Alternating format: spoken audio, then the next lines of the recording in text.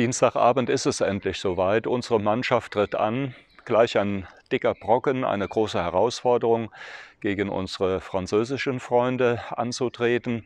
Aber ich glaube, eine ganze Öffentlichkeit wartete auf diesen Event Europameisterschaft Fußball 2021. Endlich ist es soweit, sogar mit Präsenz in den Stadien ein ja, gemeinsam erwartetes neues Aufbrechen. Was wünsche ich mir? Dass es ein spannender Wettkampf wird und der aber vor allen Dingen auch fair ausgetragen wird.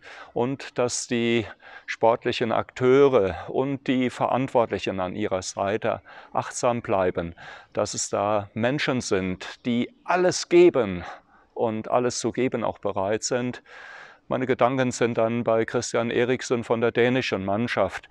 Also diese Grenzen dann aber auch zu akzeptieren und zu schauen, wo ich Stopp sagen muss.